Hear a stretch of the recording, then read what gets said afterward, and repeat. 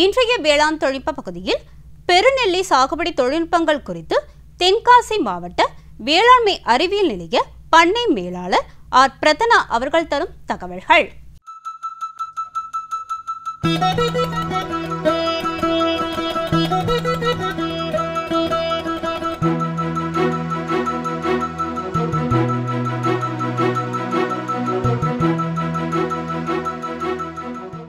நெல்லி வந்து பார்த்தோன்னா இந்தியாவினுடைய ஒரு முக்கியமான வறட்சியை தாங்கி வளரக்கூடிய பயிராக வந்து இருக்குது. ஏன் அப்படின்னா வந்து பார்த்தோன்னா உலகத்திலே வந்து பார்த்தோன்னா இந்தியா தான் முதல் இடத்துல இருக்குது. எதுலலாம் நிலப்பரப்புலையும் உற்பத்திலையும். அடுத்து இந்தியாவில் வந்து பார்த்தோன்னா தமிழ்நாடு வந்து மூணாவது இடத்துல வந்து வைக்குது. நிலப்பரப்புலையும் அதே மாதிரி உற்பத்தி திறன் வந்து அதிகமாக இருக்கக்கூடியதில்.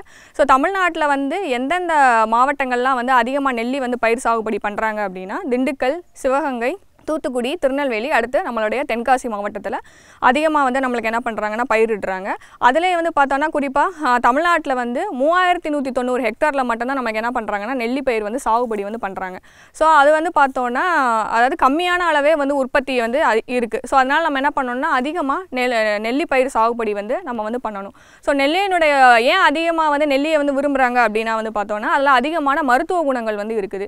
ஸோ என்னென்ன குணங்கள் அப்படின்னு வந்து பார்த்தோன்னா விட்டமின் சி அப்புறம் வந்து ஃபீனால்ஸ் அடுத்து வந்து பார்த்தோன்னா ஆன்டி ஆக்சிடென்ட் சொல்லக்கூடிய மருத்துவ குணங்கள் அதிகமாக இருக்கிறதுனால நெல்லிய பயிர் சாகுபடியை வந்து அதிகமாக விவசாயிகள் வந்து பயிரிடுறாங்க. அது மட்டும் இல்லாமல் இது வந்து வறட்சியை தாங்கி வளரக்கூடிய பயிராக இருக்குது ஏன் அப்படின்னா இது வந்து ஈஃபோபியோசிய ஃபேமிலி கீழே வந்து கள்ளி குடும்பத்துக்கு கீழே வந்து வளர இருக்கிறதுனால வறட்சியை தாங்கி வளரக்கூடிய நெல் பயிராக வந்து இருக்குது. அடுத்து வந்து பார்த்தோன்னா இதனுடைய அமிலத்தன்மை வந்து பார்த்தோன்னா எட்டு புள்ளி அஞ்சு வரைக்குமே நம்மளுக்கு என்ன பண்ணணும்னா இந்த பயிர் வந்து வளரும். ஸோ நெல்லியினுடைய அடுத்த ரகங்கள் பார்க்க போகிறோம் நெல்லியில் வந்து பார்த்தோன்னா ஐந்து முக்கிய ரகங்கள் வந்து இருக்குது ஃபஸ்ட்டு வந்து பார்த்தோன்னா என்ஏ செவன் அடுத்து வந்து பார்த்தோன்னா காஞ்சன் அடுத்து கிருஷ்ணா அடுத்து வந்து சக்கையா அடுத்து வந்து பார்த்தோன்னா பிஎஸ்ஆர் ஒன்.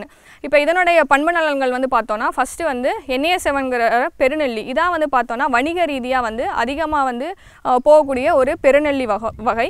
இது வந்து வருடத்துக்கு வந்து இரண்டு முறை நம்மளுக்கு என்ன பண்ணோன்னா காய்ப்புக்கு வந்து வரும். இதில் வெயிட் வந்து பார்த்தோம் அப்படின்னா வந்து எண்பது கிராமு.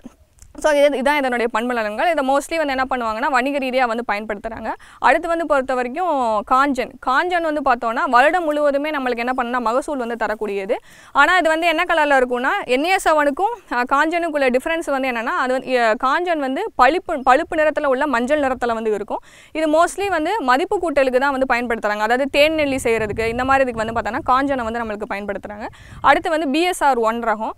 இது வந்து பார்த்தோன்னா சின்னதாக வந்து இருக்கும். அதே மாதிரி வந்து பார்த்தோன்னா பிங்க் கலரில் வந்து நம்மளுக்கு என்ன இருக்குன்னா அது மேலே வந்து டிஞ்ச் வந்து இருக்கும். ஸோ இது வந்து மோஸ்ட்லி வந்து ஆயுர்வேதா அடுத்து வந்து சித்தா இண்டஸ்ட்ரிக்காக நம்ம அதாவது மோஸ்ட்லி மருத்துவ குணங்களுக்கு தான் அந்த பிஎஸ்ஆர் ஒன் ரகம் வந்து நம்மளுக்கு பயன்படுத்துகிறாங்க அடுத்து என்ன பண்ணுறோன்னா நெல்லியினுடைய நடவு முறை பற்றி ஃபஸ்ட்டு பார்க்க போகிறோம் ஸோ நெல்லியில் மோஸ்ட்லி வந்து நம்ம என்னென்னா ஒட்டு ரகத்தை தான் நம்ம வந்து பயன்படுத்துகிறோம் ஒட்டு ரகம் வந்து பார்த்தோன்னா வி ஒட்டு ரகம். அதாவது வே ஓராண்டு உடைய வந்து வேர் நாற்றுகளை வந்து நம்ம உற்பத்தி பண்ணி வச்சுக்கணும். அடுத்து வந்து பத்துலேருந்து பதினைந்து ஆண்டுகள் உள்ள தாய் மரத்தில் 呃 பத்துலேருந்து பதினஞ்சு சென்டிமீட்டர் குச்சிகளை வந்து தளிர் வர்றதுக்கு முன்னாடி நம்ம என்ன பண்ணிக்கணும்னா கட் பண்ணிவிட்டு அதில் வந்து ரெண்டுலேருந்து மூன்று கணுக்கள் வந்து இருக்கணும். ஸோ அதை என்ன பண்ணணும்னா வேர் நாற்றுகளோட இது பண்ணி நம்ம வந்து ஒட்டுக்கட்டி வச்சுருக்கோம். ஸோ ஒட்டுக்கட்டி இருபத்திரெண்டு நாட்கள் நம்ம என்ன பண்ண இருக்கோம் அப்படின்னா வந்து பார்த்தோன்னா ஷேநட்டில் வந்து இருக்கும். அடுத்து வந்து பார்த்தோம் அப்படின்னா வந்து அப்போவே நம்மளுக்கு என்ன பண்ணணும்னா குவாலிட்டியான அதாவது தரமான நாற்றுகள் வந்து நம்ம அங்கேயே வந்து பராமரிக்க இது பண்ணிக்கலாம். அடுத்து பதினைந்து நாட்கள் என்ன பண்ணுவாங்கன்னா வெளியில் வந்து அந்த தட்பவெப்ப நிலைக்கு ஏற்ற மாதிரி நமக்கு வெளியே வந்து வச்சுருப்பாங்க.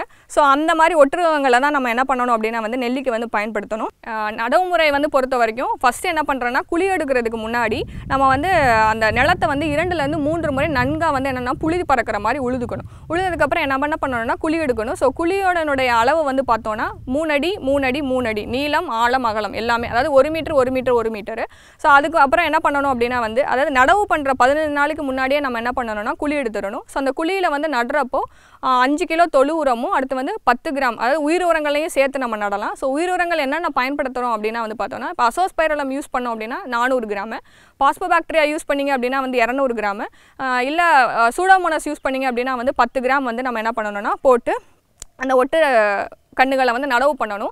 அதுவும் அந்த ஒட்டு பகுதி வந்து எங்கே இருக்கணும் அப்படின்னா வந்து பார்த்தோன்னா குழிக்கு மேலே தான் அந்த வந்து ஒட்டு பகுதிகள் வந்து இருக்கணும். அடுத்து வந்து பார்த்தோம் அப்படின்னா வந்து நீர் பாய்ச்சக்கூடிய முறைகள். ஸோ நீர் பாய்ச்சக்கூடிய முறைகள் வந்து பொறுத்த வரைக்கும் இது வறட்சியை தாங்கி வளரக்கூடிய பயிர் அப்படிங்கிறதுனால பதினைந்து டு இருபது நாள் இடைவேளையிலேயே நம்ம என்ன பண்ணிக்கலாம்னா நீரை வந்து பாய்ச்சிக்கலாம். இதுவும் வந்து மழை காலங்கள் அல்லது வந்து பனிக்காலத்தில் நம்ம என்ன பண்ணணும்னா நீர் பாய்ச்சக்கூடிய தேவையே வந்து கிடையாது. ஸோ அப்போ வந்து ஆல்ரெடி நீர் பாய்ச்சின இடத்துல திருப்பி நீங்கள் வந்து நீர் பாய்ச்சினீங்க அப்படின்னா வந்து வேரலுகள் நோய் இந்த மாதிரி நோய்கள்லாம் வந்து வரக்கணும் ஸோ அதனால் எப்போவுமே நெல்லிக்கு வந்து பார்த்தோம்னா காய்ச்சலும் பாய்ச்சலுமாக தான் நம்ம என்ன பண்ணணும்னா நீர் பாய்ச்சணும்.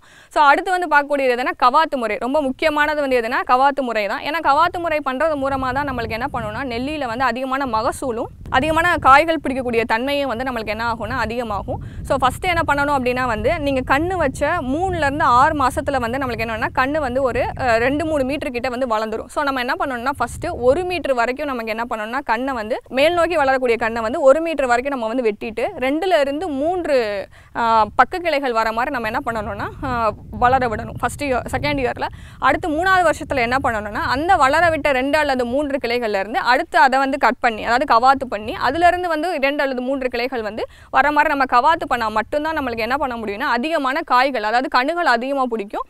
அதே மாதிரி அதிகமாக நம்மளுக்கு என்ன பண்ணால் காய் வரும். ஏன் அப்படி பண்ணுறோம் அப்படின்னா வந்து ஸோ சூரிய ஒளி நேரடியாக நம்மளுக்கு என்ன பண்ணோம்னா செங்குத்தாக வந்து விழுகிறதுனால ஸோ எல்லா ப்ராசஸுமே அதாவது ஒளி சேர்க்கை எல்லாமே வந்து நல்லா நடக்கிறதுனால எல்லாத்துக்குமே வந்து ஈக்குவலாக வந்து கிடக்கிறதுனால நம்மளுக்கு வந்து என்ன ஆகும்னா அதுக்கப்புறம் பூ பிடிக்கிறது காய் காய்க்கிறது எல்லாமே வந்து கரெக்டாக வந்து நடக்கும். ஸோ அதனால் என்ன ஆகும் அப்படின்னா வந்து காய்களும் ஒரே மகசூல் கிடைக்கும். அப்புறம் இன்னொன்று என்ன அப்படின்னா வந்து ஒரே ப ரகங்களை வந்து நம்ம நடவு பண்ணவே கூடாது. அதாவது ஏன் அப்படின்னா வந்து இப்போ நீங்கள் வந்து ஒரு ஏக்கருக்கு வந்து நூற்றி அறுபத்தி ரெண்டு வந்து நெல்லி வந்து நடவு பண்ணலாம். ஸோ அப்போனா நீங்கள் என்னென்னா நாற்பது நாற்பது வெரைட்டி அதாவது என்னென்னா நாற்பது வந்து க என்ஏ செவன் நாற்பது வந்து கஞ்சன் காஞ்சன். அடுத்து நாற்பது வந்து பார்த்தோன்னா கிருஷ்ணா. அந்த மாதிரி வந்து என்னென்னா கலப்பு ரகமாக தான் நீங்கள் என்ன பண்ணால் பயிரிடணும். ஏன் அப்படின்னா வந்து பார்த்தோன்னா அப்போ தான் நம்மளுக்கு மகரந்த சேர்க்கை எல்லாமே வந்து ஒட்டுப்போல வந்து இருக்கும்.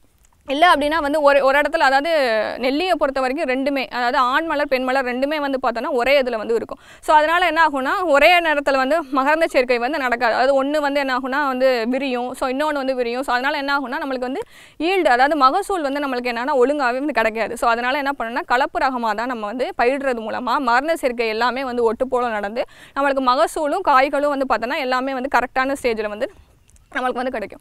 அடுத்து வந்து பார்க்கக்கூடியது எது அப்படின்னா வந்து உர மேலாண்மை பற்றி பார்க்க போகிறோம் ஸோ உர மேலாண்மையை வந்து பொறுத்த வரைக்கும் ஆல்ரெடி சொன்ன மாதிரி குழி தோன்றப்ப இப்போ அஞ்சு கிலோ வந்து தொழு உரமும் அது கூட வந்து பத்து கிராம் வந்து சூடமோனஸ் ஃப்ளோசன்ஸும் போடுறோம். அடுத்து என்ன பண்ணுறோம் அப்படின்னா வந்து ஒரு ரெண் வ- மொத வருஷத்தில் இருபது கிலோ ஒரு மரத்துக்கு வந்து பார்த்தோன்னா இருபது கிலோ வந்து பார்த்தோன்னா தொழு உரமும் ஒரு கிலோ வந்து யூரியா ஒரு கிலோ வந்து சூப்பர் பாஸ்பேட் அடுத்து வந்து ஒன்றரை கிலோ நம்மளுக்கு வந்து என்னென்னா பொட்டாஷ் வந்து நம்ம வந்து கொடுக்கலாம். ஸோ அடுத்து வந்து அதுலேருந்து வரக்கூடிய நுண்ணூட்ட குறைபாடு சத்து வந்து ரொம்ப முக்கியமானது. ஏன் அப்படின்னா வந்து வணிக ரீதியாக நெல்லி வந்து கரும்புள்ளிகள் வந்து வந்துச்சு அப்படின்னா வந்து நம்மளுக்கு மார்க்கெட்டுக்கு வந்து போகாது. ஸோ அதனால் என்ன பண்ணணும் அப்படின்னா அதுக்கு எத- என்ன சத்து குறைபாடாக இருக்கும்? கண்டிப்பாக வந்து போரான் சத்து குறைபாடாக தான் வந்து இருக்கும். ஸோ அதனால் என்ன பண்ணணும் அப்படின்னா வந்து செப்டம்பர் அக்டோபர் மாதத்தில் வந்து அதாவது நெல்லியை வந்து நம்ம எப்போ நடவு பண்ணுவோம் அப்படின்னா வந்து ஜூன் ஜூலை அல்லது வந்து பார்த்தோன்னா செப்டம்பர் அக்டோபரில் வந்து நடவு பண்ணுவோம். ஸோ அந்த நடவு பண்ண மூணாவது மாதத்தில் நம்ம என்ன பண்ணணும் அப்படின்னா வந்து அந்த காய் வந்ததுக்கப்புறம் பாயிண்ட் அஞ்சு சதவீதம் நம்ம வந்து போராக்ஸை வந்து நம்ம என்ன பண்ணணும்னா வந்து தெளிக்கணும். ஸோ அதை தெளிக்கிறது மூலமாக நம்மளுக்கு என்ன ஆகும்னா அந்த கரும்புள்ளிங்கள் வராமல் நம்ம என்ன பண்ணால் பாதுகாக்கலாம். அடுத்து வந்து பார்த்தோன்னா மகசூல் வந்து பார்க்க போகிறோம் ஸோ வந்து ஒரு மரத்துக்கு வந்து பார்த்தோம் அப்படியே நேசவனை பொறுத்த வரைக்கும் ஒரு மரம் வந்து நூறு கிலோ வரைக்கும் நம்மளுக்கு என்ன பண்ணணும்னா மகசூல் கிடைக்கும். அதாவது நூற்றி ஐம்பதுலேருந்து இரநூறு காய்கள் வரைக்கும் நம்மளுக்கு என்ன பண்ணணும்னா கிடைக்கலாம். அடுத்து வந்து நம்ம காய்களெல்லாம் என்ன பண்ணிட்டோம்னா அறுவடை பண்ணிட்டு சேமிக்கும் போது நம்மளுக்கு என்ன நோய் வரும்னா வந்து நீல பா ப- பூ பூஞ்சான் நோய் வந்து வரும். ஸோ அதை கட்டுப்படுத்துறதுக்காக நம்ம என்ன பண்ணணும்னா உப்பு கரைசலில் வந்து அந்த அறுவடை பண்ண வந்து பழங்களை வந்து முக்கி அதுலேருந்து நம்ம என்ன பண்ணணும்னா சேமிக்கலாம். அடுத்து இதில் முக்கியமாக வரக்கூடிய வந்து நோய்கள் வந்து பார்த்தோம் அப்படின்னா வந்து பார்த்தோம்னா கருமுள்ளி நோய். இது வந்து ரொம்ப முக்கியமாக வரக்கூடியது. ஸோ இதுக்கு வந்து என்ன பண்ணணும் அப்படின்னா வந்து மேன்கோசப் வந்து two ml per litre of அதாவது இரண்டு எம்எல் ஒரு லிட்டர் தண்ணீருக்கு நம்ம என்ன பண்ணணும்னா கலந்து அந்த கலவையை வந்து என்ன பண்ணலாமா தெளிக்கலாம். அடுத்து இந்த முக்கியமாக வரக்கூடிய வந்து பூச்சி தாக்குதல் வந்து பார்த்தோன்னா பட்டை. பட்டையை தா சாப்பிடக்கூடிய பூ பூச்சிகள். ஸோ இதுக்கு வந்து என்ன பண்ணணும் அப்படின்னா வந்து அந்த மரத்தில் வந்து மோனோக்ரோட்டோபாஸ் வந்து பார்த்தோன்னா ரெண்டு எம்எல் ஒரு லிட்டருக்கு தண்ணியை கலந்து மேலே வந்து நம்ம வந்து அடித்து விட்றது மூலமாக நம்ம அந்த பூச்சியிலேருந்து நம்மளோட மரத்தை வந்து பாதுகாத்து கட்டுப்படுத்தலாம். ஸோ இந்த மாதிரி முறைகளெல்லாம் வந்து இது பண்ணுறது மூலமாக நம்ம வந்து தகுந்த அதாவது தரமான கன்றுகளை வந்து நட்டு ஸோ இந்த மாதிரி மேலாண்களை மேலாண்மைகளெல்லாம் நம்ம வந்து கடைபிடிச்சோம் அப்படின்னா வந்து நல்ல மகசூல் தரக்கூடிய நெல்லி வந்து நம்மளுக்கு வந்து உதவும்.